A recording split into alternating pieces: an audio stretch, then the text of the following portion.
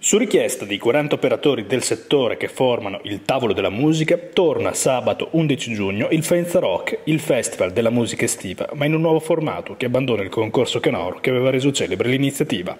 In contemporanea con la Bigorda come evento alternativo, sabato prossimo tre band faentine si alterneranno sul palco del Faenza Rock per presentare i loro ultimi lavori saranno i MoMA, Derek is Dead e The Inglorious Family ad animare la serata ospitata dal neonato locale La Birreria in via Granarolo, subito dietro il centro commerciale La Filanda e di fronte all'ingresso dell'Istituto Comprensivo San Rocco.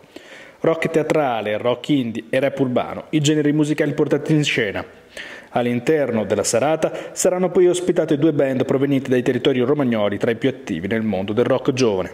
I Sweet at Shit, direttamente dal rock attratto di Savignano su Rubicone, e i Metropolitics, che invece provengono dal concorso Live Video Contest di Mola Rock. Il Fenza Rock proseguirà poi nei venerdì di luglio e agosto con altri sette appuntamenti in centro storico dove altrettante band emergenti avranno la possibilità di farsi conoscere al pubblico faentino.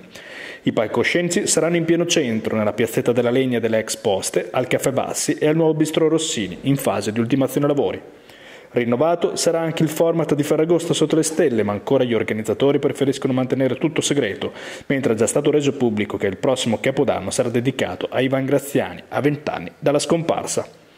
Già fissate anche le date del prossimo May, dal 23 al 25 settembre, con gli ultimi due giorni focalizzati sul giornalismo musicale e una programmazione che ha già attirato l'attenzione dei giornalisti di settore.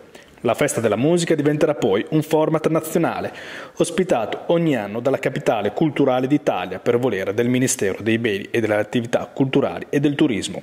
L'incarico è stato assegnato al MEI che quindi quest'anno, il 18 giugno, curerà a Mantova, capitale 2016, la festa dei mille giovani, in collaborazione con il Ministero, la SIAE, Disma Musica e il Comune Mantovano. Dieci palchi con stili musicali diversi divisi nel suggestivo centro storico di Mantova.